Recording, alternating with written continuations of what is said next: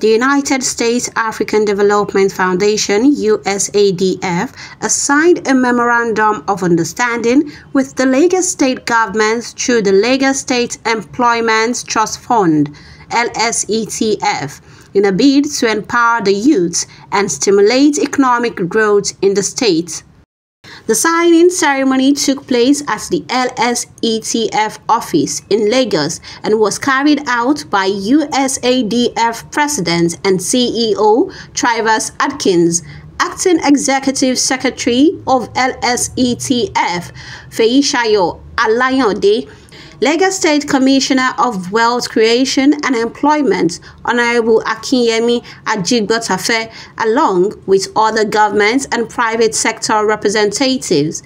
The newly signed agreement aims to build upon the existing USADF LSETF employability program which has trained over 10,500 young individuals across various sectors since its inception in 2019. You have a responsibility to yourself and again to the people coming after you.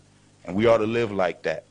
We don't know how much time we have to be here, but in whatever time we have, we can make a tremendous impact. The fruits of this labor belongs to you.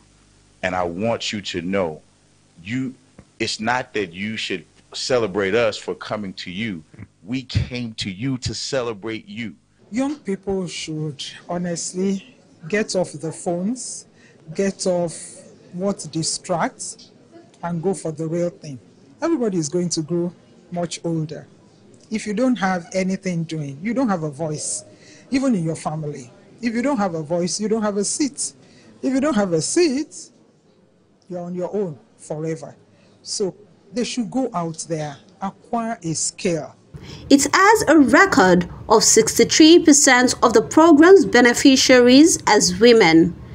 The initiative combines training, financial assistance, paid internship, and mentorship to equip young people with essential skills, supporting business startups, and facilitates job placement.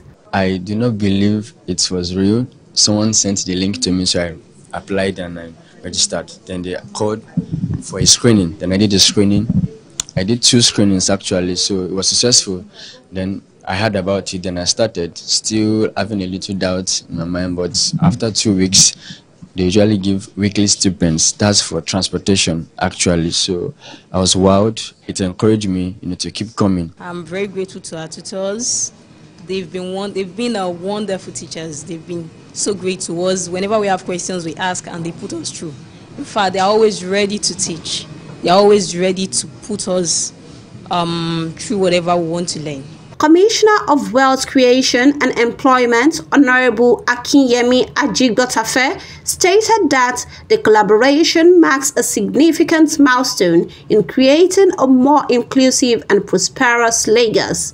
The ongoing partnership between USADF and the Lagos state government, facilitated by LSETF, continues to drive sustainable economic development and create lasting opportunities for the state's youth.